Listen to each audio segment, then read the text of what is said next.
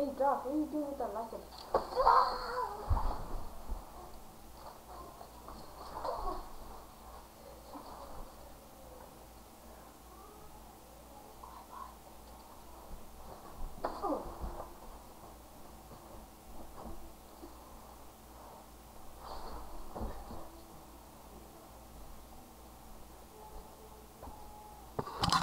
This is not for children.